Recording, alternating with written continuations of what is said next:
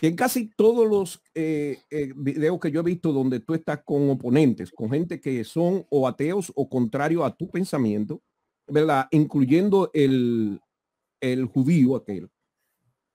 Eh, todos te hacen el argumento de la analogía de que esa historia de, de resurrección no es única, que es repetitiva a través de la historia y del tiempo y con repetitiva con muchísimos personajes. En todos tienes el mismo argumento, ¿verdad?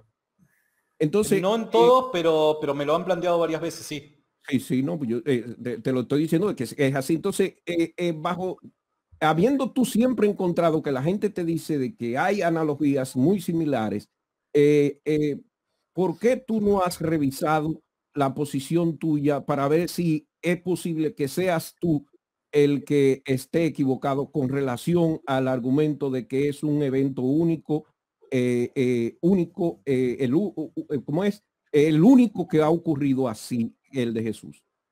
Bien, buenísimo. Dos cosas quiero mencionar al respecto. Primero, no necesariamente es que tenga que yo revisar mi postura, sino más bien lo que yo debo de revisar son las fuentes que estas personas que proponen estas hipótesis presentan. Yo no tengo que revisar en principio mi postura. Si la evidencia o las fuentes que estas personas que presentan estas hipótesis alternativas son realmente buenas, recién ahí tengo que revisar mi postura. ¿Se entiende? Primero tengo que revisar la calidad de, evidencia que me están presentando y segundo ver si existe en dicha fuente una analogía tal y como lo presenta aquel que me lo está, me lo está presentando, valga la redundancia. Primero es eso. Eh, y, mi respuesta a eso es siempre que los casos que al menos hasta el día de hoy me han presentado nunca corresponden a una correcta similitud o analogía, porque siempre me hablan de los mismos dioses como Siris u otros más que no necesariamente eh, están, eh, son similares los mitos de estos dioses paganos al caso de la resurrección de Jesús. En absoluto son, son similares, parecidos y por ende no son analogías.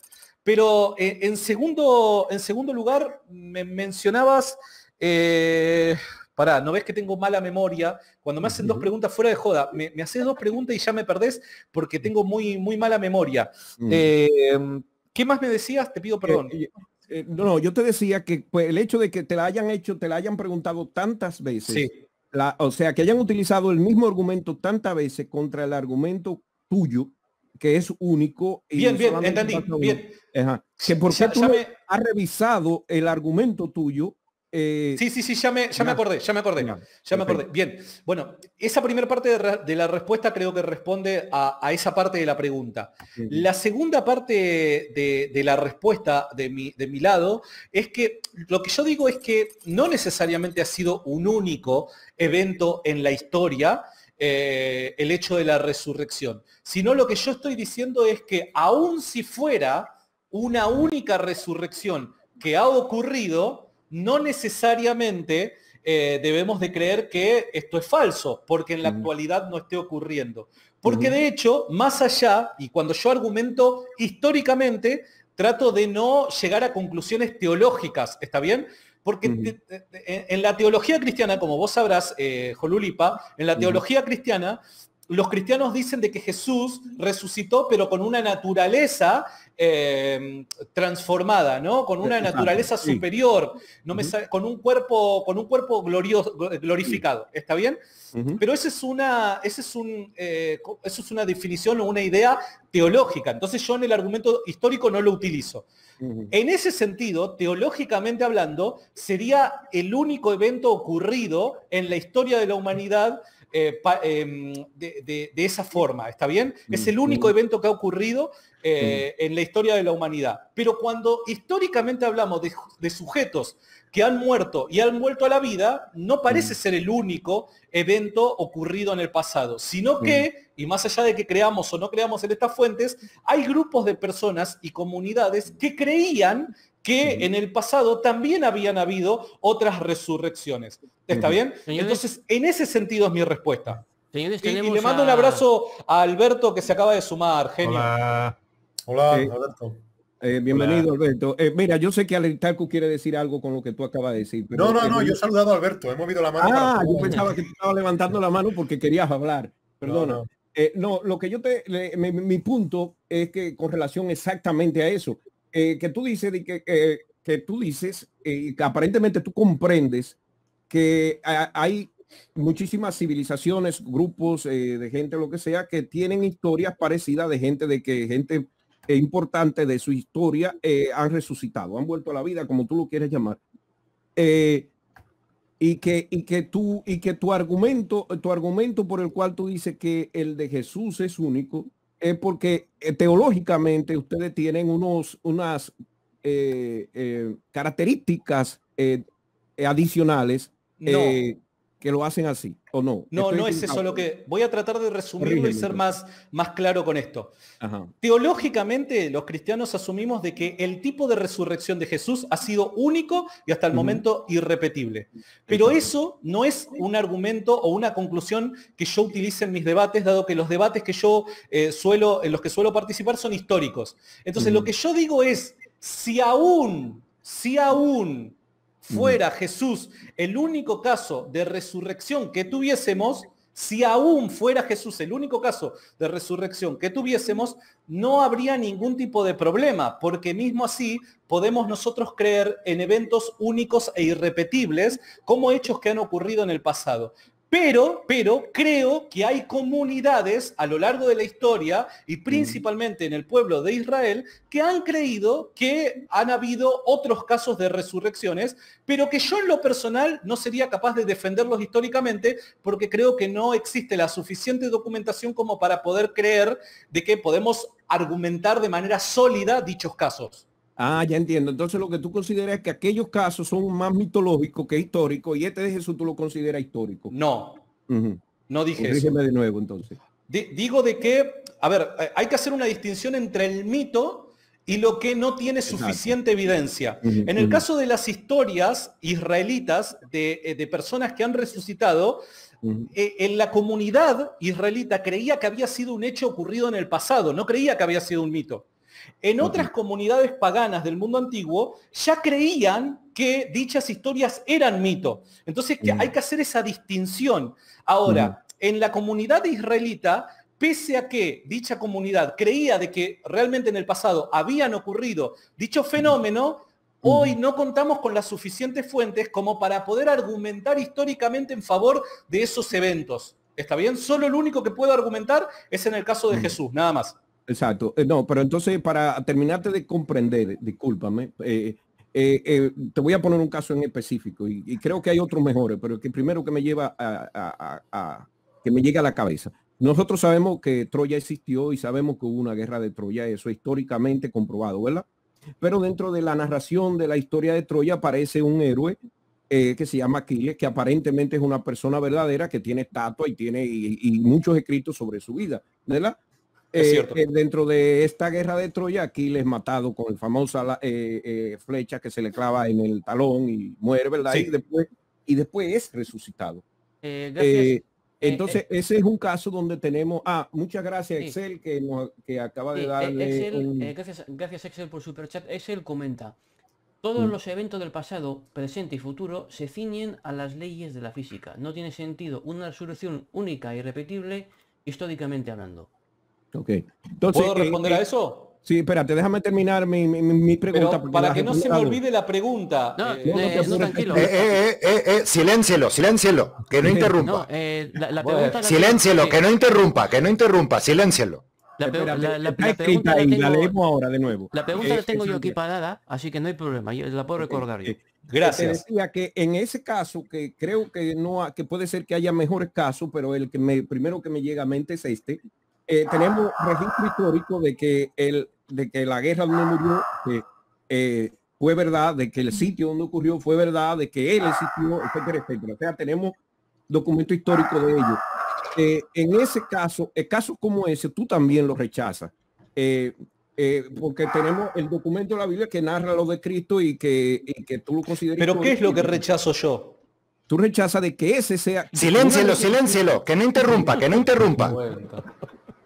Por Dios. Eh, eh, eh, ya queda claro, ¿no? Pues no me lo vuelvas a repetir nunca más. ¿De acuerdo, Santiago?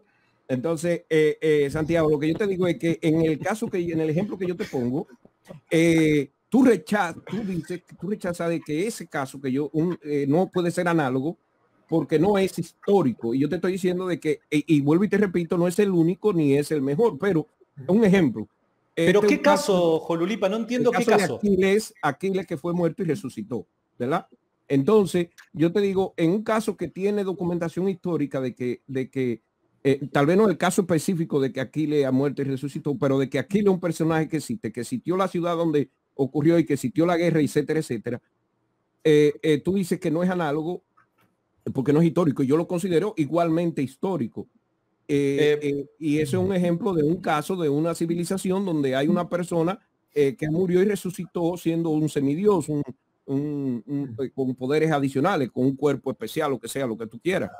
Eh, de hecho, no, bueno, no, no, no me parece que sea tan así, eh, Jolulipa. De hecho, em, eh, Aquiles no resucita, ni en el mito resucita Aquiles. ¿Cómo? de hecho, si yo no me equivoco, es en la Odisea, donde presentan, no me acuerdo y ustedes me podrán ayudar, el héroe de la Odisea que hace un viaje que se dirige al mundo del más allá. Ulises. Ulises, hace un viaje al más allá, va al mundo de los muertos y en el mundo de los muertos se encuentra con Aquiles. Aquiles está mm. muerto.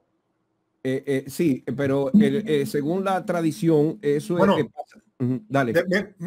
si me permite el Jololipa, en todo caso, en todo caso, Santiago, aunque dices que Ulises está muerto en tanto que está en el, en el Hades, ¿no? En el inframundo. Sí. Esa parte también tendrías que rechazarla porque, aunque no sea un caso de, de resurrección, es algo que seguro que consideras puramente mitológico. Porque ese, inframundo no consideras que exista de verdad. Y eso está incrustado en algo que está presentado como un relato histórico dentro de un contexto de una guerra que sucedió realmente y dentro de un contexto histórico. Ok.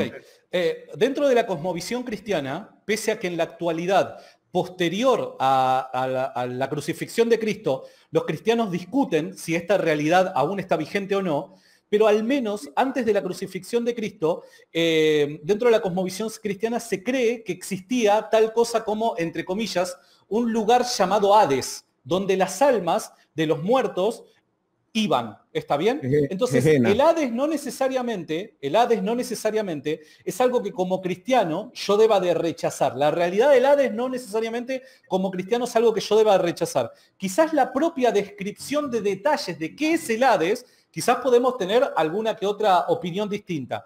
Pero más allá de eso, más allá de eso, yo no rechazo dicha historia de Aquiles en el Hades encontrándose con Ulises porque eh, es un elemento mitológico simplemente o porque de antemano yo considero de que es mitológico, sino más bien porque no cumple los indicadores historiográficos que nos permiten a nosotros identificar qué historias pudieron haber sido verdad y qué historias no. ¿Se entiende? Nosotros no encontramos múltiples fuentes independientes que nos afirmen que la realidad de Aquiles ha sido esa. No encontramos testimonios de testigos presenciales, ni tampoco tenemos fuentes tempranas que hablen acerca de esta realidad eh, de inframundo en la que se encuentra Aquiles. ¿Está bien? Entonces no hay suficiente documentación histórica respaldada por los suficientes testigos y testigos calificados para afirmar de que esto sea un hecho histórico. Entonces, para resumir, yo no lo rechazo por la realidad del Hades, dado que dentro de la cosmovisión cristiana hay tal cosa como el Hades, sino más bien lo rechazo porque creo que no cumple los requisitos históricos como para poder uno afirmar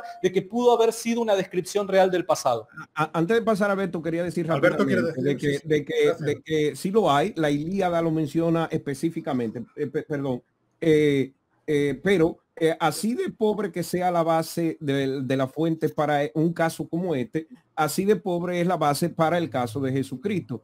Eh, pero, pero yo no me quería de, enfocar específicamente a los eventos, sino yo la pregunta fue eh, de la, no vamos a decir, la actitud o la forma en que Rincón, habiéndose encontrado con, estas, con este tipo de, de, argumentos contrarios a su argumento de la resurrección única, él eh, bajo ninguna circunstancia ha analizado si su eh, eh, o revisado si su versión tiene hoyos o no, o, no ha expuesto, solamente lo ha hecho en respuesta, pero nunca ha expuesto de por sí solo el caso específico de por qué él piensa que es así. Vamos a ver, Alberto, antes de que se tenga que ir a dormir, porque, Alberto me llama duda. Sí, no, justo mañana no madrugo tanto como los otros días, pero madrugar, me toca madrugar. Eh, a ver, solo un pequeño comentario para Santiago sobre los criterios historiográficos.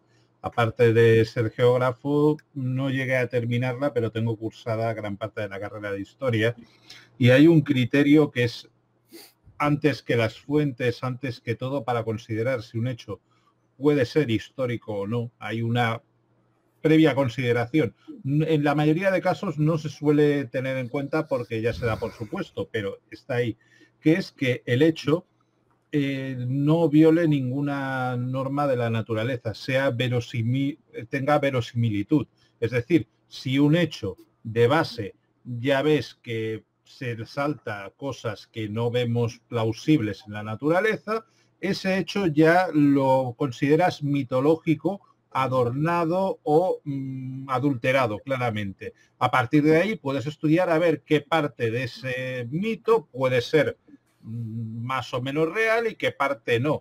Pero la parte de en los criterios historiográficos, eh, para entrar en ellos, para entendernos, lo primero es que no tiene que estar en contra, digamos, de la naturaleza, puesto que no podemos ir en contra de ellas, entendiendo la naturaleza en tanto en cuanto leyes de la naturaleza, leyes del universo o el propio universo. Depende, cualquiera de las acepciones eh, serviría en este caso.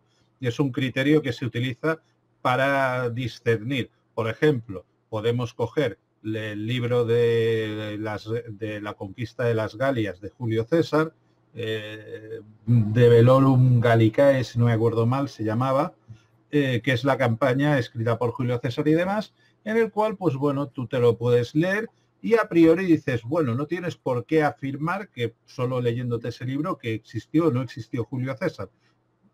Pero en ningún momento todo lo que él dice puede ser considerado fantástico, porque te está narrando una serie de batallas, una serie de tácticas, sus enfrentamientos y demás. Pero en cambio, cuando hay un momento dado en que el propio Julio César en ese libro eh, se declara descendiente de la diosa Venus. Y no me acuerdo cuántas historias más, bueno, lo típico de la época, esa parte claramente pues llegan los historiadores y dicen, bueno, sí, él se declaró descendiente de la diosa Venus porque le venía bien políticamente y porque así era más molón, pero no era un motivo de, o sea, esa lo consideras algo como en parte propaganda política, porque en esa época lo era, y en parte pues una invención claramente, porque no tenía ningún ningún posible parentesco ni nada por el estilo para entendernos. Pero eh, lo demás del libro, pues sí, lo puedes rescatar como histórico para entendernos.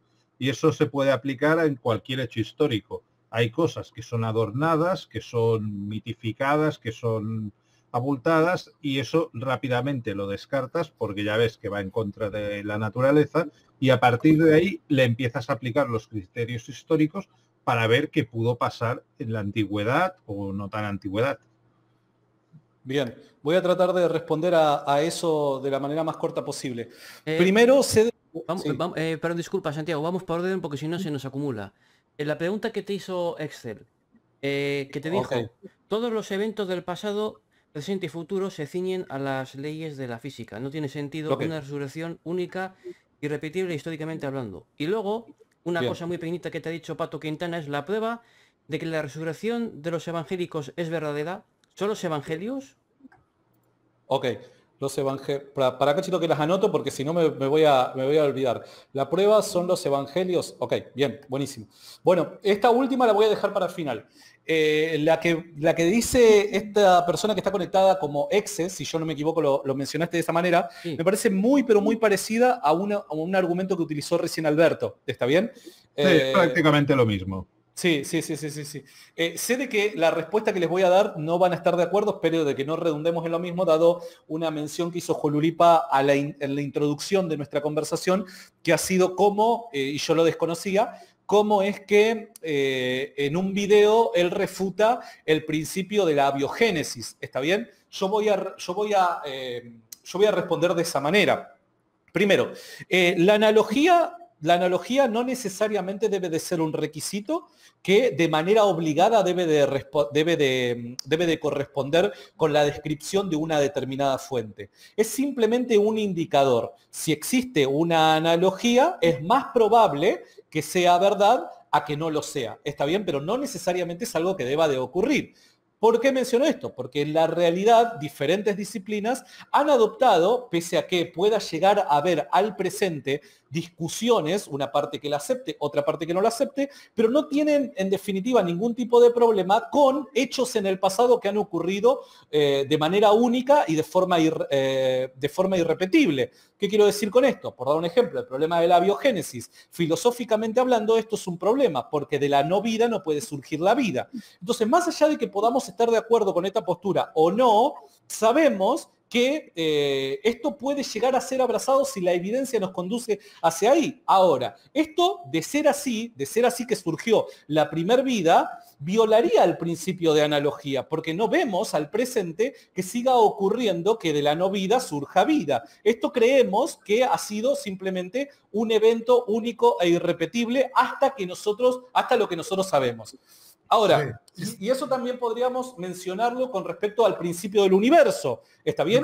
Vuelvo a repetir, pero déjame cerrar la... Sí, sí, sí. Solo, anuncio, anuncio que yo querré responder a esto posteriormente. Sabía, sabía que me iban a responder a esto, así que ya estaba, estaba ahí preparado. También pasa con el principio del universo. O sea, vuelvo a repetir, pese a que dentro de la academia hayan comunidades científicas que estén discutiendo ciertas hipótesis, podemos ver que hay comunidades que no necesariamente siendo cristianos adoptan estas explicaciones como eventos únicos e irrepetibles y parecen no tener ningún tipo de problema con violar el principio de analogía. ¿Está bien? Eso en principio quería decir. Segundo, em, lo que decía Alberto con respecto a el consenso académico. Alberto, pese a que no utilizó esta, este término, eh, desliza esta misma idea. Parece ser que ¿Cómo que no? Dijiste de que en la historiografía no se admite todo aquello que no sea corroborado por medio de las leyes naturales. ¿O me estoy equivocando? Corregime si me estoy equivocando. Eh, eh, no es bien bien eso es. No es que no se admita, es que directamente no se tiene en consideración ni demás. Y es por un motivo. Y en eso no hay, eh, no hay ningún historiador que no esté de acuerdo. Cuando estudias la carrera de historia, es una de las cosas claras que te explican de que es uno de los criterios para discernir si un hecho puede ser considerado histórico o no, principalmente. Y en esa, en esa parte no hay discusión, es decir, no hay ningún académico, ningún historiador. Esa parte, aparte, es de las primeras cosas que te explican prácticamente con las primeras asignaturas de la carrera. O sea, no tiene, bueno, eh, eh, respondiendo, respondiendo a eso entonces, respondiendo al punto que mencionaba Alberto, primero, si existe dicho consenso, me gustaría que me lo pueda mostrar. Si existe dicho consenso y que yo ignoro de su existencia, me gustaría que me lo pueda mostrar. ¿Por qué digo esto? Porque dicho consenso no existe. No existe dicho consenso. Esto eh, lo explica Behan McCallagh cuando dice él no siendo cristiano, no apela a este principio, a este principio que presenta Alberto de la manera tan rigurosa tal y como lo presenta. De hecho, él es eh, mucho más, eh, ¿cómo decirlo? Eh, él es más ¿cómo decirlo? Es más tranquilo, la palabra no es tranquilo, tiene más los pies sobre la tierra, pero no, no, no, no es quizás esa palabra y pido disculpas porque no encuentro el término adecuado. Eh, él presenta como, como un indicador historiográfico la plausibilidad y que esta plausibilidad podría así de una u otra manera corresponder con lo que está diciendo Alberto, pero fíjate que él lo presenta como plausibilidad y la plausibilidad está sujeta al investigador, no es un consenso objetivo que abarca y vincula a todas las personas que analizan la historia, sino que la plausibilidad simplemente se refiere o vincula al, de manera subjetiva al investigador de la historia. ¿Por qué digo esto? Porque yo podría responder a lo que dijo Alberto, que existen muchos historiadores cristianos que no están de acuerdo con esta afirmación que está haciendo Alberto. Ahora, la pregunta es, por el hecho de ser cristiano o teísta, queda descalificado como historiador al incluir dentro de su cosmovisión y dentro de su manera de ver la realidad a Dios? No creo de que sea así. No. Eh, eh, Rincón, claramente. bueno, pero espérenme, pero muchachos, déjenme responder.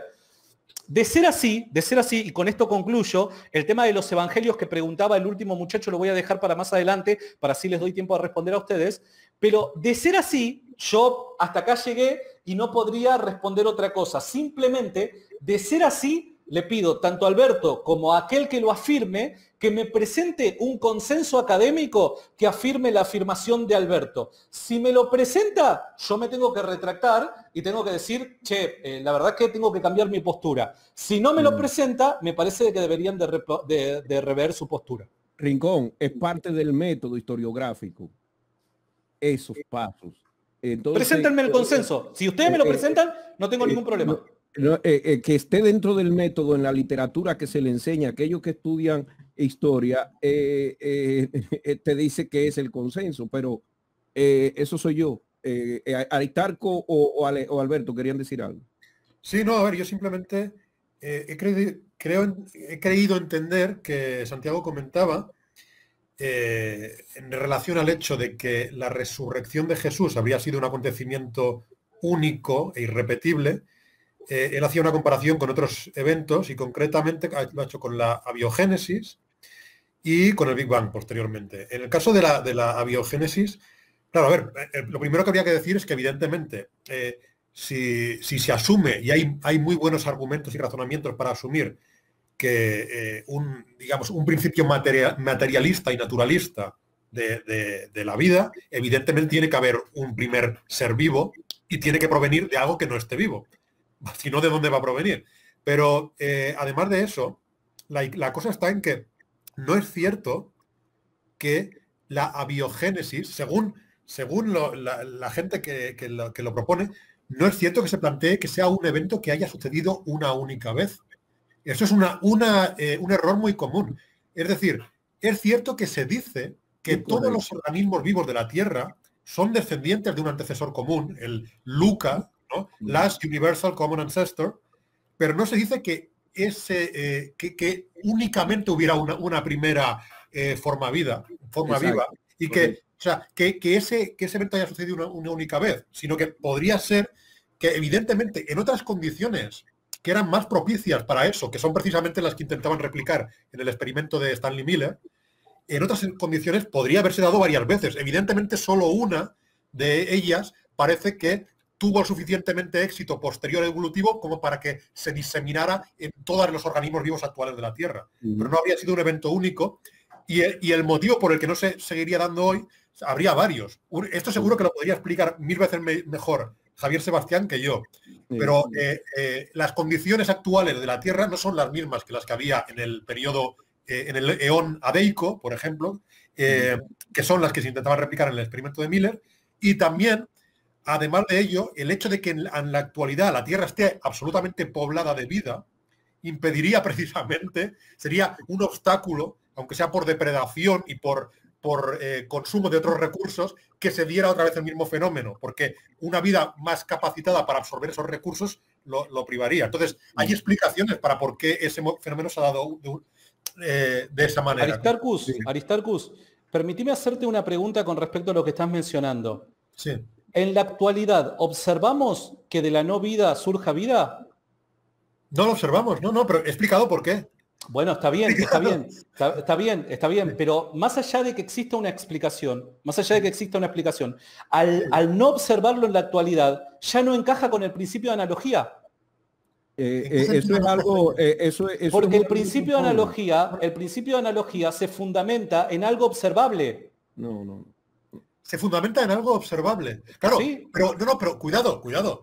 El inicio de la, de la no vida, eh, perdón, de la vida a partir de la no vida, se fundamenta en algo observable. Esto no es una no es una arbitrariedad que se haya inventado un científico, porque los científicos. en la actualidad se ve. Los que son serios no se inventan arbitrariedades así de la nada. Es decir, está bien. Eh, el, eh, por ejemplo, los enlaces moleculares, es decir, la formación de moléculas a partir de enlaces iónicos o de enlaces covalentes, eso es algo que se conoce y que se, que se observa en la realidad empírica, experimentalmente. Entonces, y, además, adicionalmente, Aristarco, recientemente se descubrió eh, un proceso por el cual también hay selección química. O sea que ya no hay solamente selección natural ya cuando existe seres vivos, sino que se ha demostrado que eh, con, con, las, eh, con las moléculas que son, que conducen a la vida, también hay selección. y, y, se demostró el procedimiento por el cual es ello. O sea que aunque no haya vida antes de llegar a la vida, pudo haber selección que haya ido mejorando las moléculas y haciéndola más compleja hasta que llegara el punto de vida. Pero esto todo es una hipótesis, chicos. Yo estoy preguntando, estoy, estoy haciéndote una pregunta puntual, Aristarcus. Estoy haciéndote una pregunta puntual. ¿En la actualidad se observa que de la no vida surja vida? No, no, no, ya, ya lo he dicho, pero he explicado. De vuelta, entonces ahora deja, ahora te explico yo eh, este punto. el punto de el, principio de analogía se fundamenta en lo que se observa en la actualidad. Si pese a que vos tengas una explicación, pese a que vos tengas una explicación del por qué es que de, eh, esto de la no vida, que surja vida en la actualidad, no se observe, más allá de que vos tengas una excelente explicación, no se observa en la actualidad. Entonces no aplica el principio de analogía. Perdón, perdón, perdón, Dante, perdón, perdón. Pero quería decir algo, Santiago, de que hay algo que tú te estás está auto, autocontradiciendo. Yo solo quiero decir que no va de acuerdo, no va de acuerdo con Jesús porque nosotros no vemos en la actualidad gente resurrección. Eh, claro, no, sí, sí. resurrección. Entonces, la resurrección de Jesús no es posible en base a ese argumento. No estás entendiendo el argumento. Eh, la, palabra, de la palabra de Starcus. sí, a ver, yo, yo muy, Dante, si me permite, muy brevemente respondo a lo que ha dicho Santiago y, a continuación Dante también dice algo. Eh, simplemente, Santiago. Yo tengo una pregunta también. después de Dante voy yo.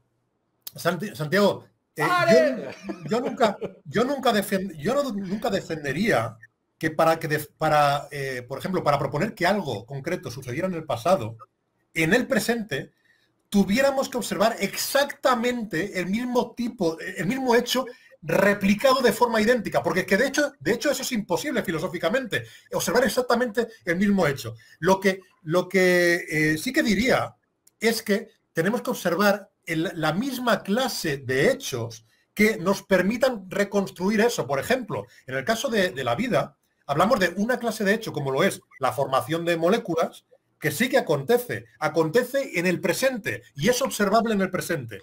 Ese, la formación de moléculas no es una fantasía, se forman moléculas, es decir, los diversos elementos químicos eh, que tienen... Todo eso no lo discuto. tienen capas de electrones distintas, se enlazan por enlaces iónicos o covalentes y forman moléculas. Entonces, eh, la, formación de, eh, aminoácidos se ha observado en el presente. Entonces, todo lo que se eh, infiere sobre la abiogénesis, por supuesto que está basado en cosas observadas en el presente. Está, eh, eh, está basado en tipos de fenómenos que se han observado en el presente. No es una pura invención sobre el pasado. Entonces, respecto a, a, personajes históricos, yo no digo que para que me demuestren que existió Napoleón en el pasado, tenga que ver a Napoleón en el presente. Yo no digo que para que me Yo no estoy diciendo eso. Claro, no, pero yo no digo que tenga que verse exactamente el mismo, una réplica idéntica del mismo hecho cuya, eh, cuyo acontecimiento afirmamos en el pasado. mira, te explico, te explico este punto, Aristarchus. Mira, mira, mira cómo me parece a mí de que no estás entendiendo el punto. Bien. El principio de analogía el principio de analogía, el principio de analogía es una respuesta a la, al argumento implícito que dice los muertos no resucitan por ende, en el pasado no pudo haber resurrección. Vale, yo, por respeto a Dante, voy a dejar que hable ahora. Ok. en otro momento, sí. A ver, mm, tenemos eh, un paper que demuestra, no es una hipótesis, como tú has dicho, demuestra que existe eh, la selección química. Es una demostración, es una teoría, es algo que, que es así. Lo creas tú o no lo creas tú era un paso que nos faltaba en el rollo de la biogénesis. Entonces, aunque no hemos visto la biogénesis, es cierto que no hemos visto nunca la biogénesis como tal.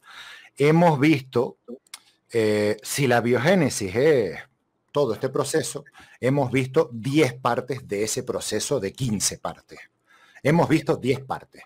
Es cierto que no lo hemos visto completo, pero hemos visto 10 partes. Y podemos ver que las partes que nos faltan no están tan lejos de nuestro conocimiento, más o menos. No hemos visto resucitar algo, no un ser humano, algo en la vida. una vez decimos que algo está muerto, va en contra de las leyes físicas y de la misma entropía y de un montón de rollos que esa cosa vuelva a estar viva. O sea, una cosa, una cosa cumple todo lo que vemos y tenemos cosas probadas que señalan en esa dirección. La otra cosa, tenemos cosas probadas que señalan en dirección contraria. En dirección contraria. Entonces, no es para nada comparable la biogénesis con la resurrección de Jesucristo. Y segundo, que iba a decir con otra cosa que habían dicho muchísimo antes, no son comparables por eso, porque una tiene pruebas, la otra no tiene nada, salvo la palabra de una gente, que puedes creerlos como tú o puedes no creerlos como yo. Pero lo único que hay es la palabra de una gente que lo dijo. Ok, ¿puedo responder a eso? Eh, me queda una cosita más, me queda una cosita más. Eh, Después tú pones el rollo de la resurrección. Eh, los peones como, como que eso ocurrió y todo esto. Y me encanta que lo comentes con esto de la resurrección, porque uno de tus argumentos es que lo vio gente y esa gente que lo vio después murieron como mártires. Entonces tú te fías de la palabra de esa gente porque esa gente murieron como mártires. No, una, lo he resumido un poquito demasiado. Está bien, está bien. La idea también, pero, está bien, está vale. bien. Eh, yo no confiarías más en las imágenes de los budistas prendiéndose fuego a sí mismos. ¿No crees tú que según eso, eso que tú crees, eh, según ese mismo argumento, esa gente tendría más razón todavía? O los, islamistas suicidas. O los islamistas suicidas no tendrían más razones todavía que eso que tú dices. No sería un argumento todavía mejor, porque de estos tenemos pruebas. De los otros, mm, no tanto. Buenísimo. Dos cosas quiero mencionar, tres mejor dicho. La primera, Dante, fuera de broma, y esto no te lo digo irónicamente, me encanta el planteo que hiciste y la forma en la que lo hiciste. La verdad, eh, sinceramente, y esto no es ironía, fuera de broma te lo digo. Eh, segundo. no, no. te extraña porque no me has oído nunca. Bueno, está bien, está bien, No, no, no, pero, o sea, no te lo digo mal, te lo digo bien. Sí, sí, lo sé, pero te extraña porque no me has oído nunca. Ok. que no me has oído nunca. Bueno, eh, punto, punto número uno con respecto a la respuesta. De las dos objeciones que me presentaron, la segunda, que es en la que se sumó Aristarchus, con el ejemplo de los musulmanes, no me parece para nada buena esa objeción, así que la voy a dejar para el final. La primera sí me parece bastante interesante, sinceramente, que es volviendo al caso del principio de analogía, ¿está bien?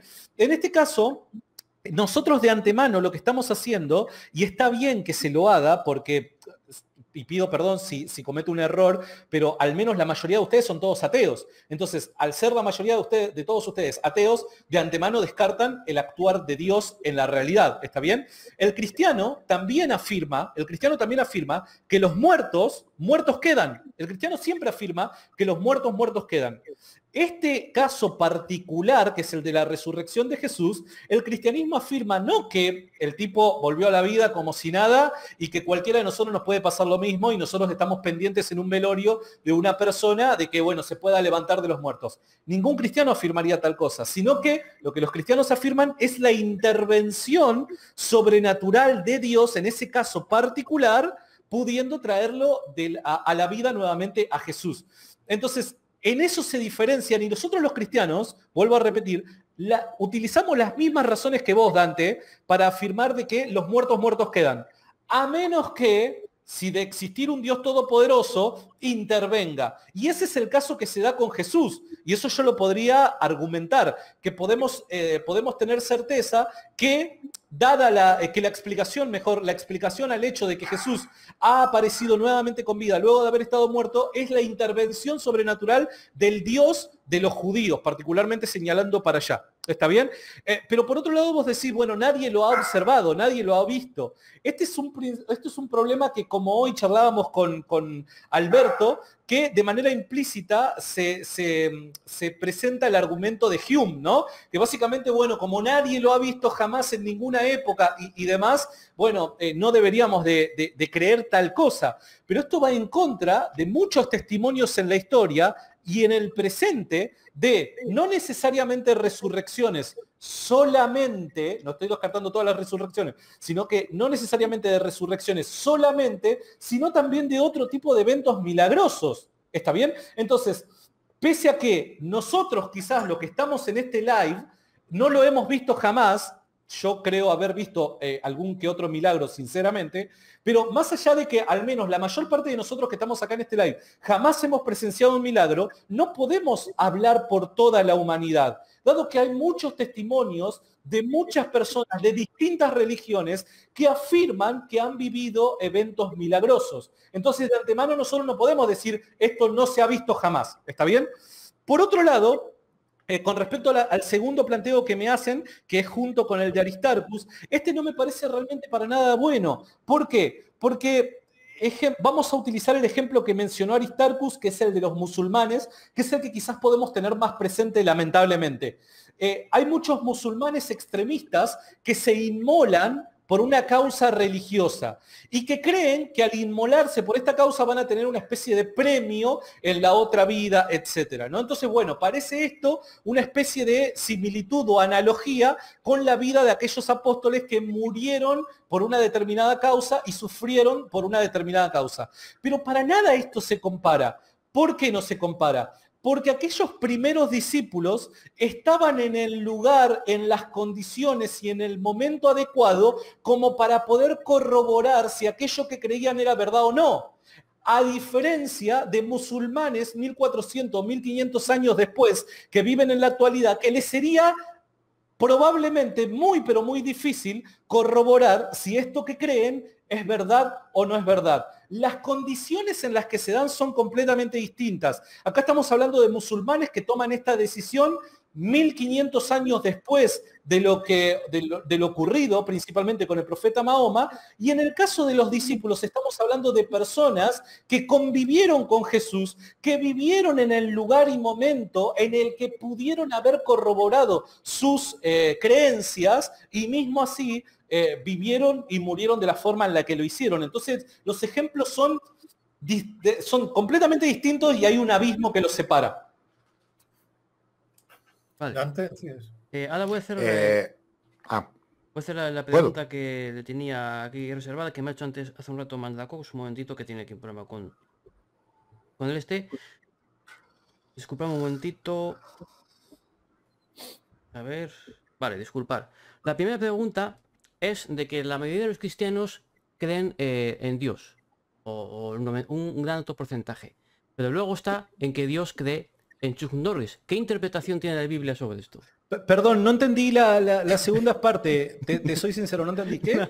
Nada, es una broma, no te preocupes. ah, perdón, no entendí la broma. Súper ingenuo lo mío, disculpen. Nada, la broma contestaba, eh, decía de que la mayoría de los cristianos creen en Dios, pero Dios cree en Chuck Norris. Un actor de televisión que hace muchas películas. Pero Bruce Lee es mejor que Chuck Norris. Ah, bueno, bueno. Ahora sí, ahora vamos con la, pregunta. Ahora, vamos con la pregunta seria. que le vencen una peli de Bruce Lee. ahora vamos con la pregunta seria. Eh, Mandacos nos pregunta, por favor, dile que si se observa que la no vida, perdona, por favor, dile que si se observa que la no vida surge vida, todos los seres vivos surgen de cosas que no son vida, de la química que los compone. Eh, continúa, dice, y la abiogénesis es, un es simplemente cómo surgió eso. Ok, está bien. Eh, eh, eh, a ver, la respuesta que voy a dar, yo les tengo que ser sincero, no podría profundizar filosóficamente mucho al respecto. Así que simplemente voy a dar una respuesta y si ustedes me responden, yo ya me quedo, me quedo acá, ¿está bien? Pero me parece muy, pero muy difícil que la química sea capaz de poder explicar fenómenos humanos o experiencias, mejor dicha, humanas, tal y como lo es la conciencia. No creo que la química sea capaz de poder explicar lo que nosotros llamamos conciencia. Por ende, por ende, creo, yo creo, que el ser humano no se limita a ser un robot orgánico que reacciona a las funciones químicas de su cerebro, sino que hay algo más que puede explicar lo que es la conciencia del hombre. ¿Quién continúa?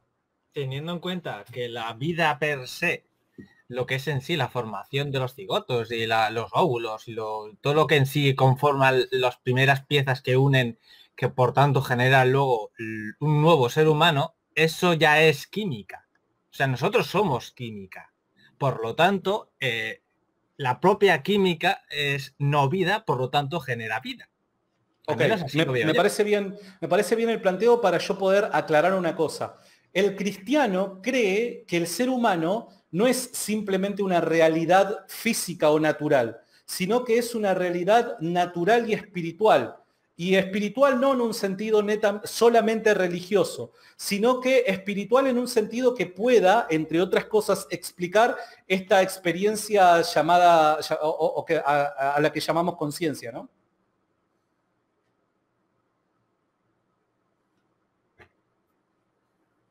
a ver, ah, por si acaso, yo ah. no sé.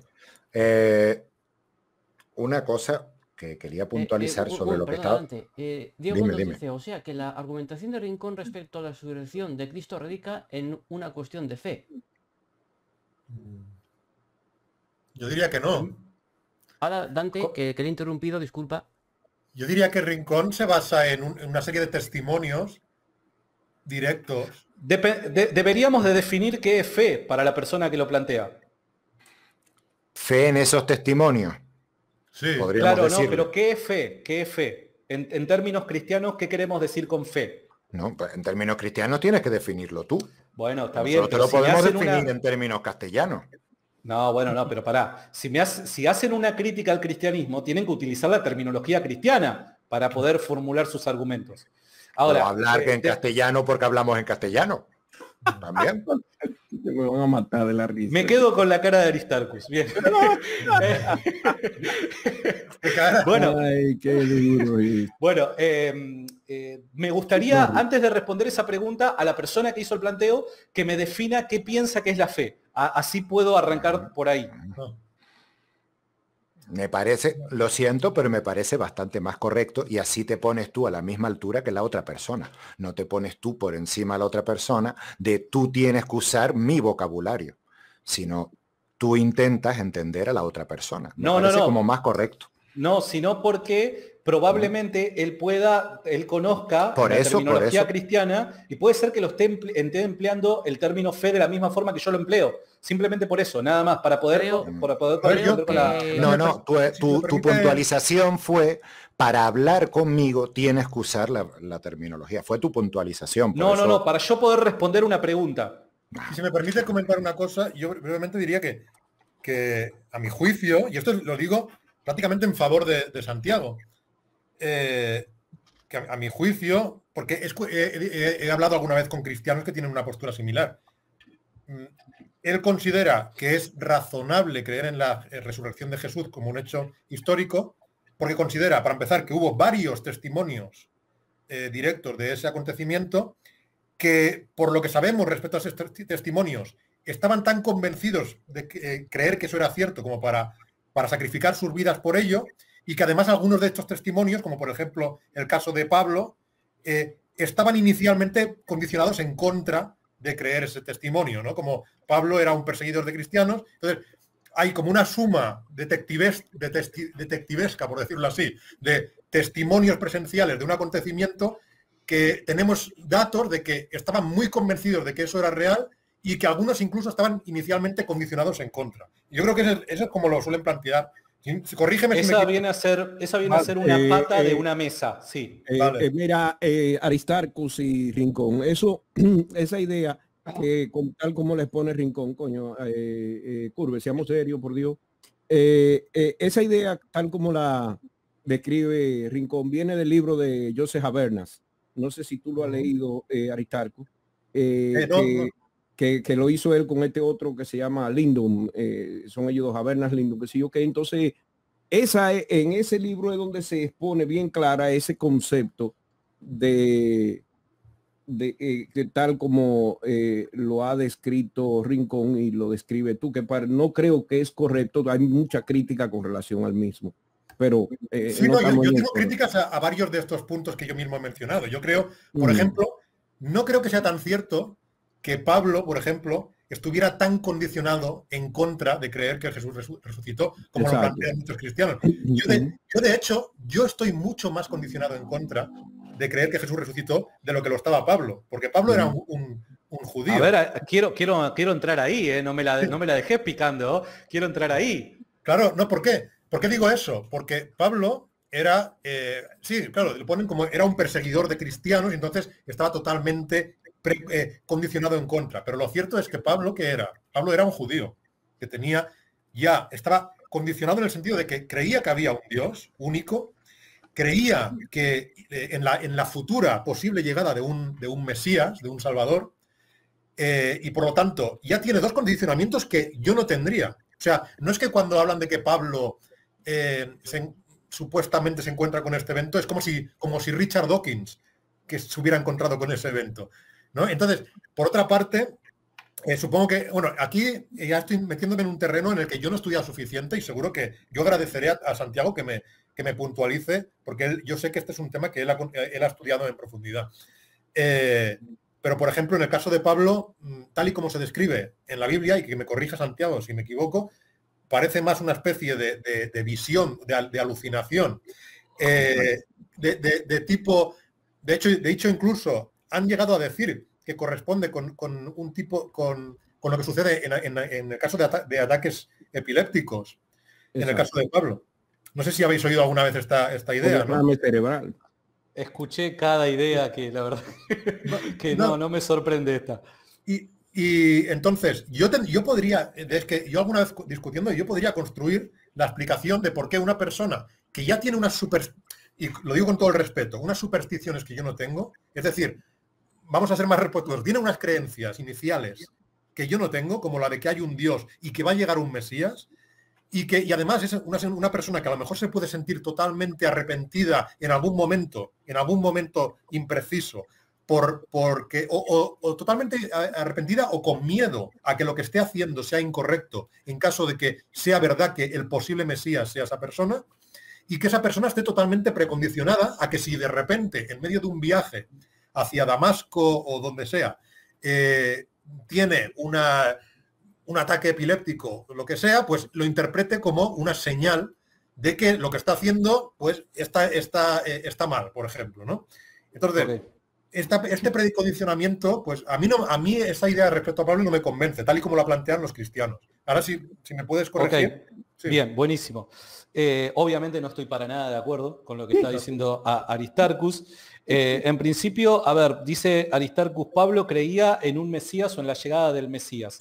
Eh, muy probablemente Pablo, por causa de la línea farisea que seguía, Pablo creía en la llegada de un Mesías. El tema es qué tipo de Mesías o sea, eh, en aquel entonces, hasta el día de hoy, los judíos afirman de que Jesús no hubiera cumplido con los requisitos mesiánicos que ellos habían, habían establecido para aquel entonces.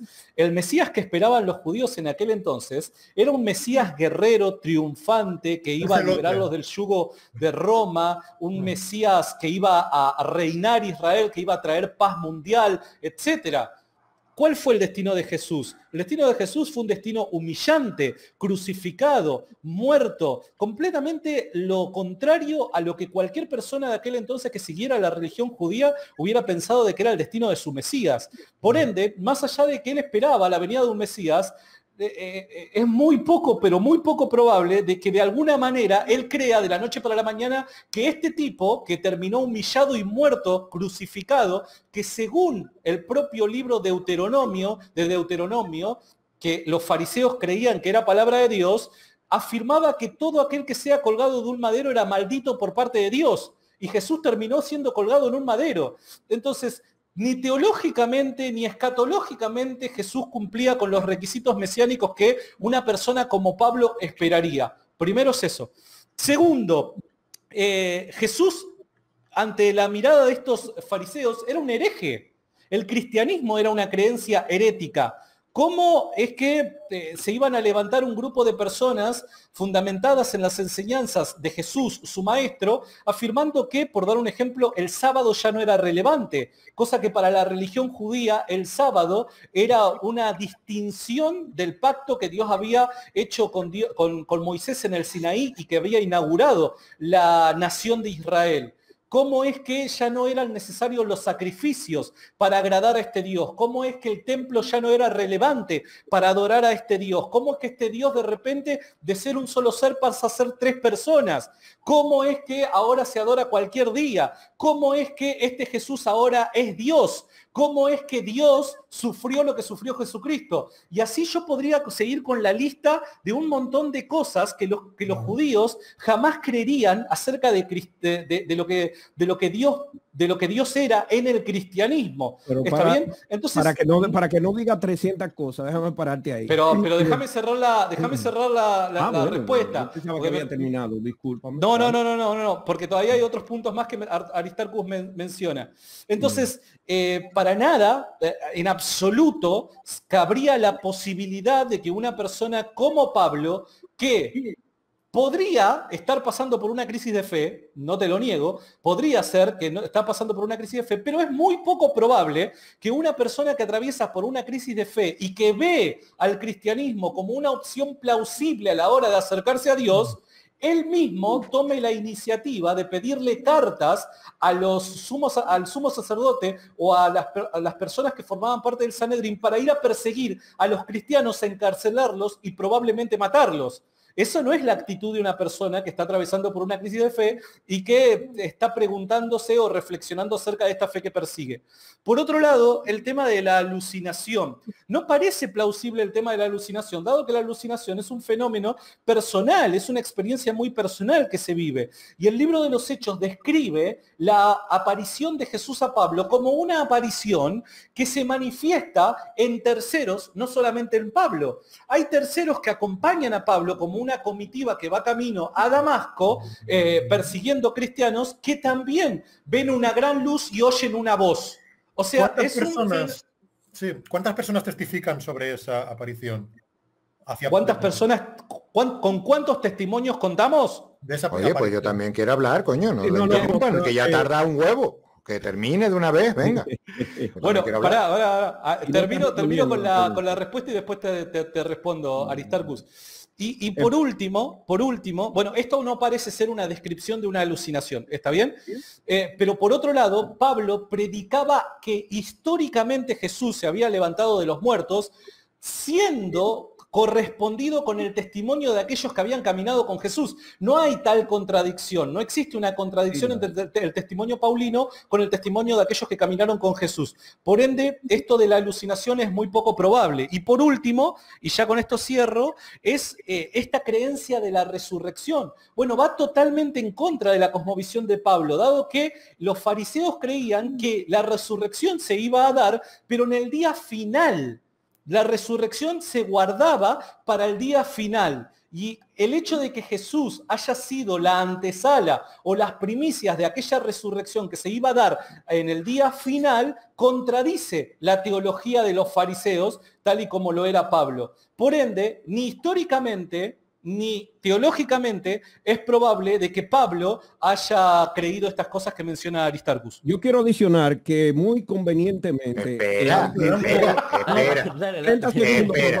Déjenlo a Dante. Dante estaba levantando la mano hace tiempo. Rincón ha ignorado mencionar en todo momento que Pablo antes que nada era gentil.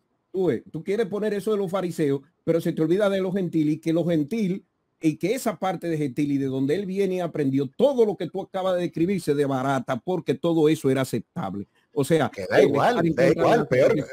Colulipa, voy a decir una cosa que da igual. A ver, a Jesucristo vamos a tomar como que Jesucristo existió de verdad. Y de verdad tenía dos apóstoles y se dieron vueltas por ahí, hicieron todos los rollos. Vale, lo acepto.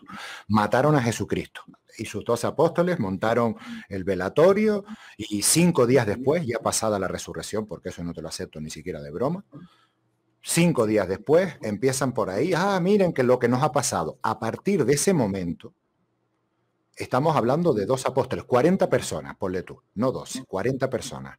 A partir de ese momento, todos los nuevos creyentes no eran judíos, eran todos judíos. Todos los nuevos creyentes eran judíos, vivían en Judea y eran judíos. Entonces, tu argumento por llamarlo de alguna manera, de que Pablo, porque era judío, no iba a creer eso, se cae un poquito a pedazos porque todos los que estaban creyendo eso eran judíos.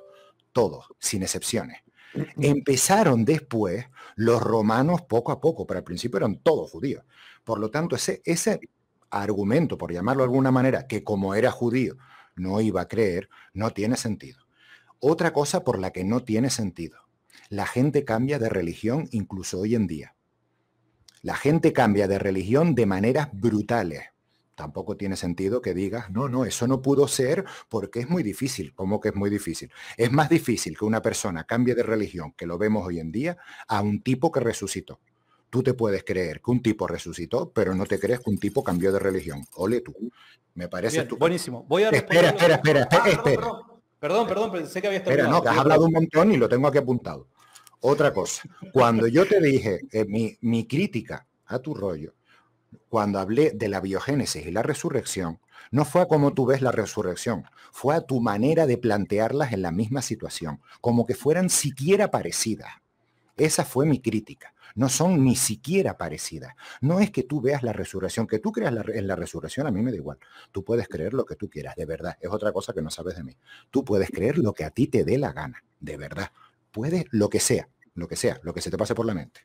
Pero cuando comparas la biogénesis con la resurrección, de alguna manera que no sea alguna cierta, te voy a decir, mira, eso no es cierto. Y lo que tú dijiste en ese momento no era cierto. Y continuamos, y ahora sí termino, con tu rollo de que los de Lisis, pusiste el ejemplo de Lisis hace un ratito, que los de Lisis eh, no habían tenido una visión eh, o no tenían no, habían visto o algo así comentaste, no, no me acuerdo exactamente las palabras, como que no tenían de primera mano y eso qué importa. ¿Tú estás seguro que no las tienen de primera mano? ¿Tú sabes que a ellos no se les apareció Dios? ¿Lo sabes? Tú no lo sabes, no los conociste. A lo mejor ellos tuvieron revelaciones de primera mano. Tú estás diciendo que no las tuvieron, que los que tuyos sí las tuvieron, las revelaciones, y por eso son distintos.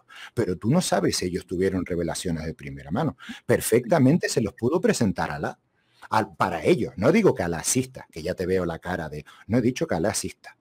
He dicho que para ellos se les presentó a la. Ellos creyeron que Alá se les había presentado y se los había dicho. Por lo tanto, tiene las mismas pruebas que siguen, sigue siendo lo mismo, no ha solucionado nada, es lo que te quiero decir.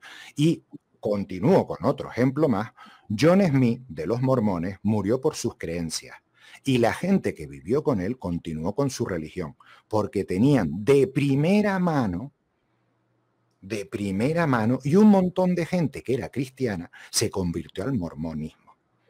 Entonces, ese, ese, todo ese rollo que está contado de no, no, no se puede porque era judío de esta manera y porque era judío de esta otra manera y lo habían educado de esta manera y lo habían educado de esta otra. Todo eso no tiene sentido, las personas cambian. Y era un Buenísimo. Bueno, voy a tratar de responder estos cinco puntos que me presentó Dante, que de verdad me parecen, me parecen bastante interesantes. Voy a arrancar por el más flojo de todos, que me parece que es el último, el tema de José Smith y el, origen del mormonismo. De hecho, tenemos testimonio en contra de esto. Eh, obviamente yo no tengo mis notas acá a mano, pero ustedes lo pueden verificar a esto en internet. La tesorera del movimiento inicial de José Smith testificó en contra de todo lo ocurrido con José Smith. Ella se termina, eh, termina testificando en contra y diciendo que todo esto era una fantochada, era una, una conspiración y, demás. Así que tenemos testimonio en contra del armado del inicio de esa religión. En principio decir eso. Segundo punto, el tema no has contestado lo que yo he dicho, ¿eh? Por si puedes continuar, pero no lo has contestado. Sí que lo contesté, sí que lo contesté. No, no, no, no. Lo contesté porque, a ver, yo no he dicho que no haya. Yo no he mencionado en ningún momento. dime, dime, pero no lo has contestado. El argumento, el argumento a favor de la resurrección, entre otras, viste, de que Aristarcus dijo que, eh, bueno, eh, específicamente no, no recuerdo eh, bien cómo fue que lo dijo, pero yo mencioné, bueno, eso es una pata de una mesa. ¿Te, acordás que él mencionó algo sobre, eh, creo que era la disposición, la poca disposición que tenían ciertos cristianos para convertirse al cristianismo? Yo dije, eso es una pata de la mesa. Hay muchas otras patas que hacen al caso de la resurrección. Una de estas patas es que no hay testimonios en contra de esto que ha ocurrido. No existen testimonios contrarios, no existen testimonios de personas que digan esto es una falsedad o cosas por el estilo.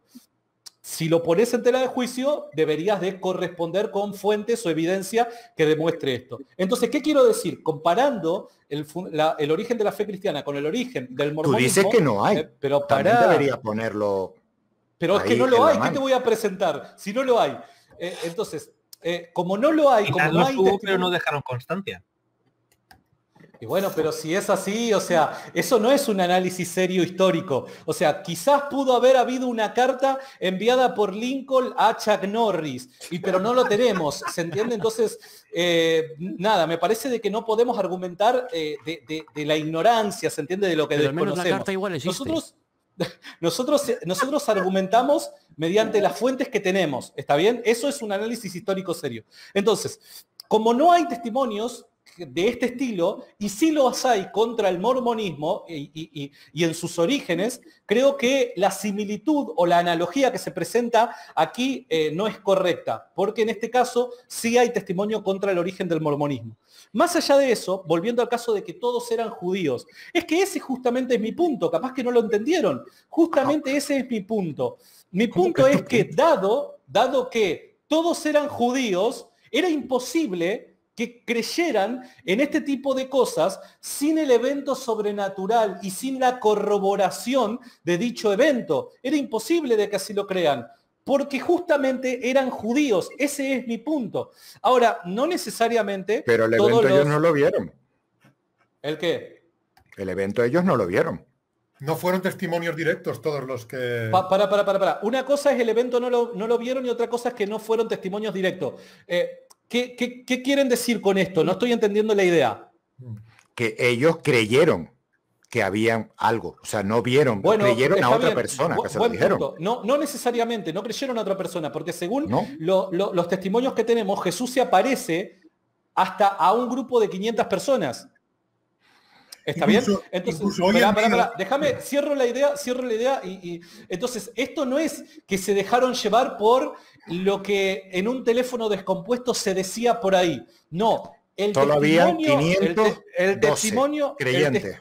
El, testimonio 512 creyentes. El testimonio, el testimonio original es de personas que dicen haber visto a Jesús resucitado y que dicen que hay una tumba vacía. ¿Está bien? Eso es lo que dice el testimonio original. 524, ¿qué número? Me parece que es irrelevante este sarcasmo que no, estás porque los demás, no, no, no, no, sarcasmo no es. Tú estás diciendo que justamente por ser judío. ¿Querés que te reduzca? ¿Querés que te reduzca? No era testimonio de 12, era como vos decís, testimonio de 40 personas. No importa acá el número, en este caso no importa el número. porque lo estás reduciendo a ese número. Una vez que llegas a ese número, todos los demás son judíos que no llegan a esa conclusión por pruebas directas, sino porque se los han contado otros. Por eso es importante. No, de, hecho no, eh, eh, Dante, y te explico por qué. Porque la iglesia, la iglesia nace, nace en Jerusalén y eso que tiene que ver para que los testimonios no sean... ¿Puede, ¿Puede alguien decirle que me deje terminar la idea? Bueno, acá adelante. Es, es el único, eh, la iglesia original nace en Jerusalén. Hmm. Único momento y lugar donde las personas que oían el testimonio de estos que decían que Jesús había resucitado podían corroborar eso. Recuerden una cosa, que el lugar en donde Jesús fue sepultado era un lugar de público conocimiento.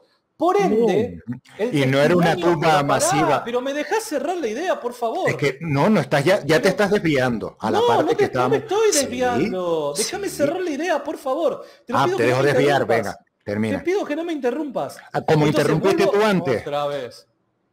¿Alguien, no, no, es que te quejas. me interrumpa? ¿Alguien, le puede, decir? Venga, me vuelvo a callar, me vuelvo a callar y te dejo hablar durante tres horas. Pero habla de lo que tú quieras, pero a mí no me estás respondiendo, ¿eh? Te, agradezco mucho. Que a mí no me te agradezco mucho. Te agradezco mucho. Sí, Bien, de, vuelta, de vuelta. Eh, la gente que creía en el testimonio de la iglesia original no eran personas que creyeron simplemente algo que se mencionaba por ahí. Eran personas que se encontraban en el lugar y momento adecuado para corroborar dicha creencia, dado que el lugar en donde Jesús fue sepultado era un lugar de público conocimiento. ¿Está bien? Eso en principio. Entonces no era gente supersticiosa que se dejó llevar por un comentario de alguna vieja chusma que cruzaba por ahí y no tenía más nada en qué creer y creyó en eso. En absoluto, eso no es plausible y no corresponde con el contexto que nosotros conocemos de aquel entonces en el que se origina la fe cristiana. Primero es eso. Entonces, la creencia, la creencia de los judíos no es algo que tengo en contra, sino más bien es algo que tengo a favor. Por otro lado, Dante dice, la gente cambia de religión constantemente. Bueno, está bien, eso ocurre en Occidente en el siglo XXI, pero eso no ocurría en Medio Oriente en el siglo I.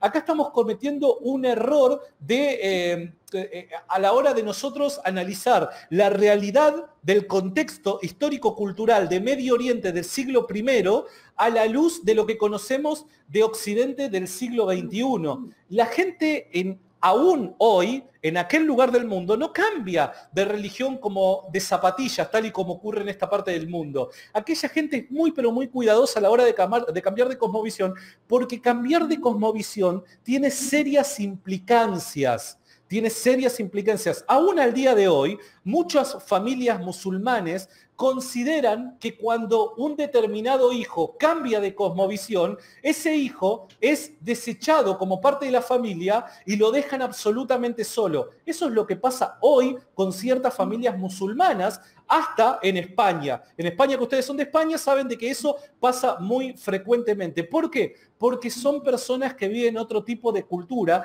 y creen en la religión de una forma distinta a la que creemos en Occidente. La religión es parte de la identidad de aquellas personas. Entonces, esto de cambiar de religión como de zapatilla no ocurría a mediados del siglo I en Medio Oriente.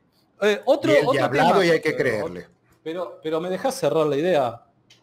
Bien, comparar la abiogénesis con la resurrección. Yo jamás comparé la abiogénesis con la resurrección. Yo siempre, simplemente lo que dije fue que de la misma manera que una parte de la comunidad científica considera que no hay... A eso mismo me refería. Pero, de vuelta.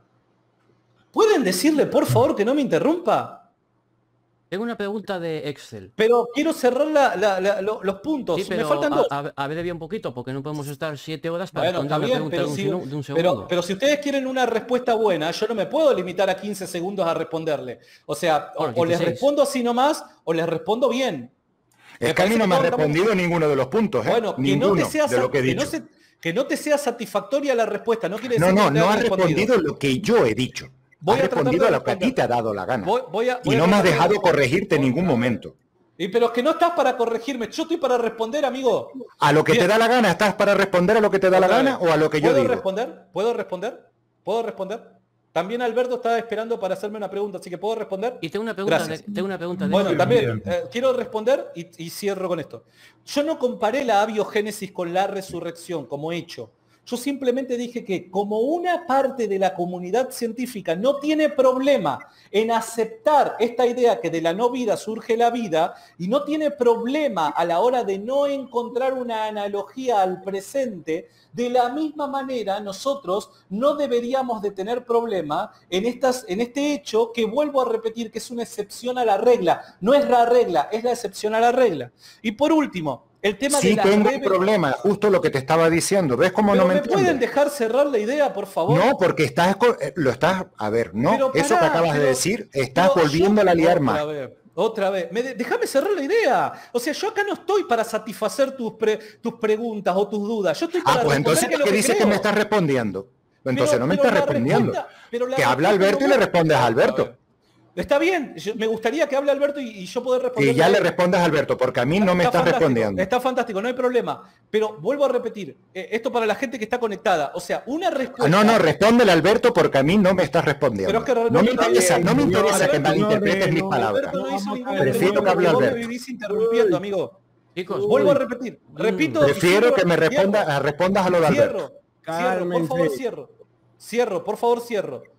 Una respuesta. Prefiero que respondas a lo que va a decir Alberto. No me interesa tu respuesta a algo que, yo no he dicho. estoy haciendo. A vos no te la estoy haciendo. No me gusta que, me malinterpreten. No me gusta que me malinterpretan. Vale, pues mira, no, no lo estás hablando. No Bueno, que pregunta Alberto, por favor. Después en mi canal van a encontrar la respuesta a este planteo. Alberto. Donde te da la gana. Ah, bueno, en mi caso, más que una pregunta o algo así, solo un par de comentarios antes de despedirme porque empieza a ser bastante tarde. Sí, a mí también me queda los últimos minutos, perdón. Y mañana me toca madrugar, o sea que por suerte, aunque mañana esté medio zombie, no será demasiado grave.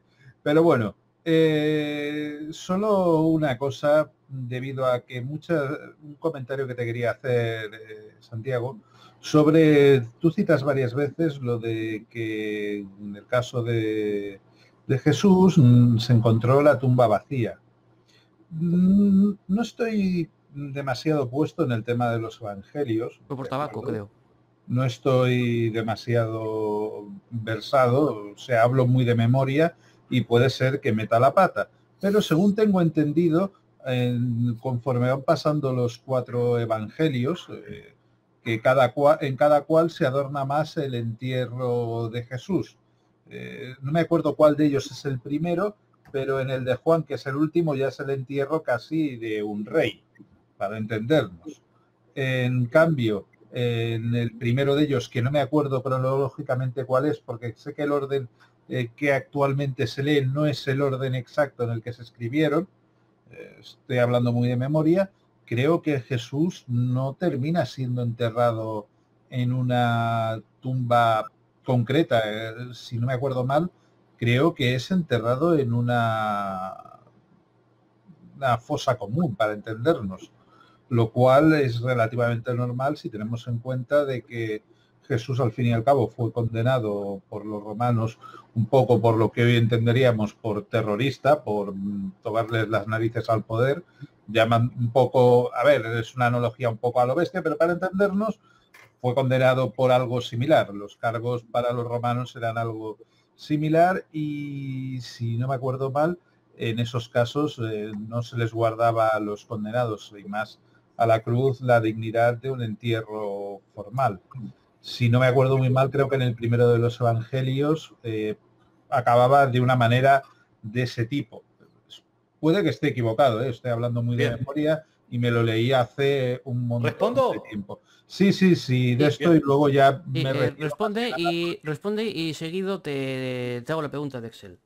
gracias Alberto por tu participación, de, verdad, y se nota que estás cansado, así que muchas gracias. Y, vayan a ver el video que tengo con Alberto, que la verdad que está muy, pero muy bueno. Eh, bueno, en respuesta a lo que dice Alberto, eh, Alberto sí, eh, en los cuatro evangelios se presenta la sepultura de Jesús de la misma manera. En los cuatro evangelios se describe de que quien le da el, sepulcro, el lugar de entierro, su tumba, es José de Arimatea. En los cuatro evangelios se dice de que José de Arimatea era, era parte del Sanedrín. O sea que no hay un testimonio alternativo a ese. ¿Está bien? De hecho, más allá, más allá de, que el Evangelio de Marcos, eh, de Juan, perdón, ha sido escrito probablemente en la década del 90, el primer evangelio a escribirse fue el Evangelio de Marcos y el Evangelio de Marcos muy probablemente se ha escrito a mediados de la década del 50. Entonces, si Jesús fue crucificado en el año 30 o mediados del año 30, estamos hablando de que la primera biografía de Jesús la tenemos entre 20 y 25 años después de su muerte y esto en términos históricos es muy pero muy corto tiempo. ¿Está bien? Primero eso. Segundo, este no es el primer testimonio de la sepultura de Jesús.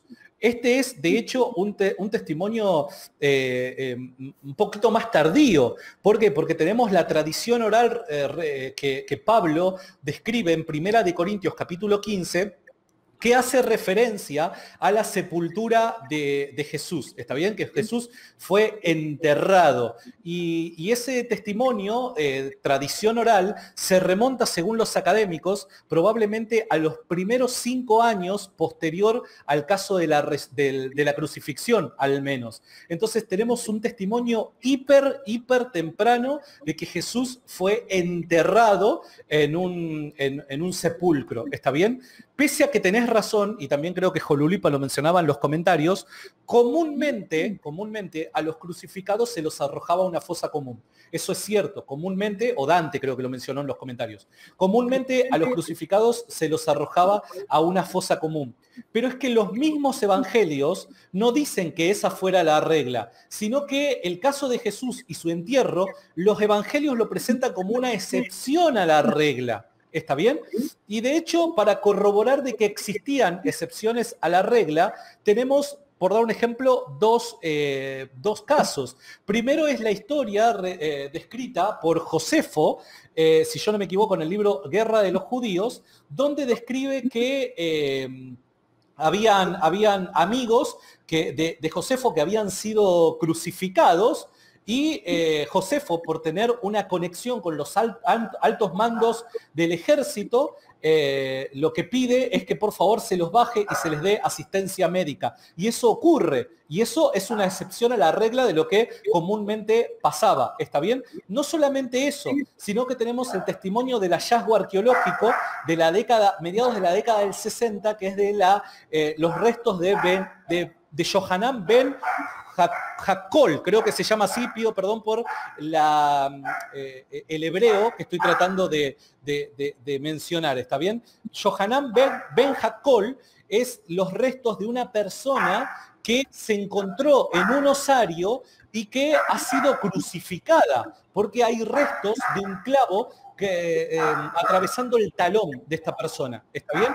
Entonces, eh, encontramos que existen excepciones a la regla. Vuelvo a repetir, esto no es la regla. Lo ocurrido a Jesús no era la regla, pero sí era una excepción a la regla. Hay hay eh, testimonios paralelos que hablan de excepciones a la regla y el Evangelio lo presenta como tal. Eh, ahora te voy a hacer la pregunta de, Excel para ir cerrando. Bueno, solo una cosa antes de que se preguntes lo dicho. Yo me retiro. Muchas gracias, eh, Curve, por dejarme participar y nos vemos. Y disculpa, a ver si consigo por, por, la, por, el, mal día que vas a tener mañana. No, no te preocupes. Por suerte mañana me toca teletrabajar. Bueno, bueno. Podré estar con cara de muerto. Bueno, Nick, que, que no trabajes mal. Y el vídeo, Alberto, y el vídeo que lo tienes en tu canal, que lo pueden ir a ver a tu sí, canal. está también en mi canal, está subido también en mi canal el vídeo y demás. Que hoy iba a hacer directo por la noche ya que podía, pero es que como estaba todo el mundo aquí, pues digo, bueno, ya lo haré otro día. Así que, pues eso. Nos vemos. Así que buenas noches a todos, bonanita a Tom y Ans Valle. Nos vemos, Alberto. Nos vemos mañana. Chao, Alberto. Y la, última... Eh, si a ustedes les parece, perdón, yo ya también me tengo que retirar. Una pregunta más, si, si les parece, y, yo pido disculpas, pero me tengo que retirar. Excel, Excel hizo... Solo, un momento, solo un matiz. Eh, hubo bastante conversión de varias religiones, eh, bastante al principio del, de siglos, en los primeros siglos, hubo bastantes conversiones de, de musulmanes a cristianos, de cristianos a musulmanes, y alguna que otra cambio más. O sea, que no es solo que ahora más recientemente eh, se están haciendo los cambios de religiones. Hace muchos siglos atrás que la gente cambiaba de religión como que cambiaba de zapato porque la que le, estaban haciendo por cultura, eh, su cultura em, alrededor le decía que tenía que ser de, esa religión y luego se, se, encontraba con quien fuese y entonces cambiaba. O sea que tampoco es un argumento muy fuerte el decir que es que como era judío, entonces eh, no, porque posiblemente el hecho de ser seguidor ya le hiciese cambiar. Ok, eh, respondiendo a eso, tu, nombre, discúlpame, ¿cómo era? Te pido mil disculpas.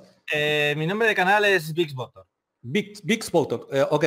en respuesta a eso, eh, me gustaría, me gustaría eh, que, me, que, me, señales, ahora no, obviamente, porque ninguno de nosotros tiene fuentes para ahora mostrar, pero en algún momento me gustaría que me señales por medio de fuentes cómo es que los musulmanes convertían a las demás naciones en, al Islam. Eh, eh, al menos en sus inicios, los musulmanes no eran personas políticamente correctas que iban a través del, diálogo y la reflexión tratando de convertir al Islam a, los pueblos vecinos, sino más bien eran personas que atentaban contra la propiedad y la vida de, los pueblos circuncidantes para que se conviertan al Islam y lo acepten como tal. Eh, ¿Está bien? Entonces, no es que para aquel entonces las personas cambiaban de... No, o sea, estaban obligadas a cambiar. ¿Está bien? Vale, ahora te digo lo de Excel porque me daba rollo. Tengo uno con fuentes, tengo un cambio antiguo con fuentes. Un que, que no quiero dejar con, el que él le va a estar de acuerdo y todo, rincón apologético y todo. Perdón, me tengo que ir. Si lo pueden hacer rápido, yo no tengo problema. Eh, no, quiero dejar esta pregunta en el aire. Eh, Excel dijo, Santiago, ¿y qué más da dónde se gestó el que vos consideras el origen de, tu religión? Eso no prueba de que sea, de que esto no prueba de que sea la única válida sobre el resto, de que es la única válida sobre el resto. Bien, buenísimo. Yo opino exactamente lo mismo.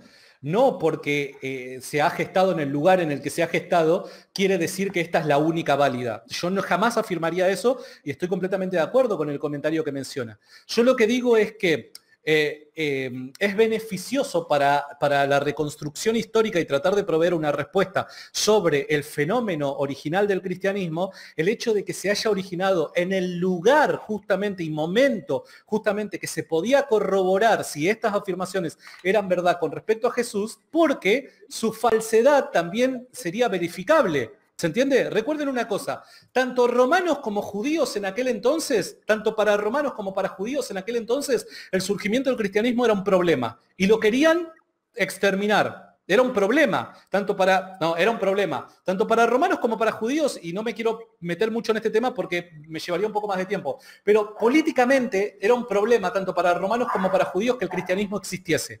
Ahora, eh, si ellos hubieran encontrado una razón para demostrar que el cristianismo era falso, la hubieran expuesto.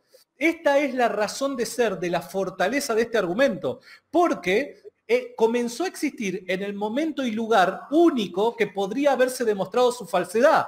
Y dado que tanto judíos como romanos querían demostrar su falsedad, no lo hicieron.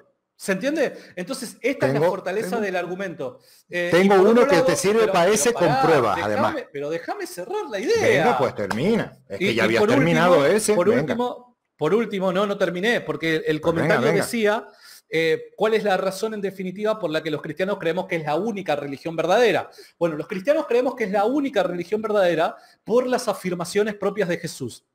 Recuerden, el argumento cristiano es, si Jesús resucitó de los muertos y fue Dios quien lo resucita de los muertos, la vida, obra, dichos, enseñanzas de Jesús adquieren el respaldo de la divinidad. ¿Está bien? Adquieren el respaldo de la divinidad. Jesús no solamente resucitó de los muertos, sino que a su vez enseñó que solo a través de él se puede llegar al Padre. Esto es una clara mención, creamos o no creamos en eso, creamos o no creamos en eso, esta es una clara mención de que el cristianismo nace como una religión exclusiva. ¿Está bien?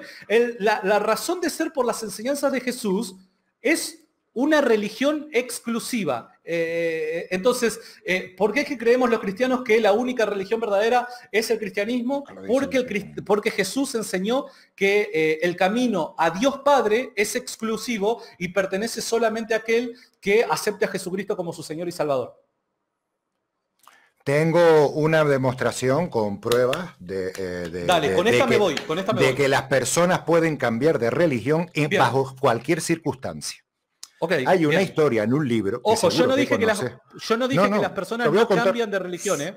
Bajo cualquier circunstancia, le añado Pero yo no dije lo contrario. Vale, vale, vamos, déjame contar. Hay un libro que seguro que te suena, donde cuentan una historia donde por lo visto había un pueblo elegido y un tipo se los lleva de paseo, abre un mar pasa por en medio del mar, se ahogan todos los soldados detrás, se pegan 40 años caminando por ahí. Te suena la historia, ¿no? Me suena, me suena, me suena. suena Cuando era chiquito me la contaban o sea, o sea, esa gente ha visto la mano de Dios, no ha visto a, un tipo resucitar. ¿Qué coño? Que han visto abrirse el puto mar. 40 años comiendo el maná del cielo. Y cuando llegan allí, ¿sabes lo que hicieron? Cogieron y pusieron otro Dios. Otro distinto al que tenían, que Dios se enfadó. O sea, ellos que tenían de primera mano la presencia divina de primera mano y a un profeta, las dos cosas al mismo tiempo, cambiaron de religión. Por lo tanto, no hay ejemplo que tú me puedas poner donde no te pueda decir esa gente puede perfectamente cambiar de religión, porque esta gente cambió de religión viendo a Dios con sus propios ojos, según cuenta esa historia. Bien, bien. Me parece, me parece, primero es la primera vez que me hacen este planteo y me parece un planteo interesante, te tengo que ser sincero. Em, bueno, me, parece que no es, eh, no es para nada acertado y te explico por qué. Para nada. Eh, lo que ocurrió con el becerro de oro, que es la historia que vos estás haciendo mención, no es un cambio de religión. No, de hecho, si lees las páginas del Éxodo, en la historia del becerro de oro, te vas a encontrar con que al becerro de oro lo llamaban Jehová. Este es Jehová, decían.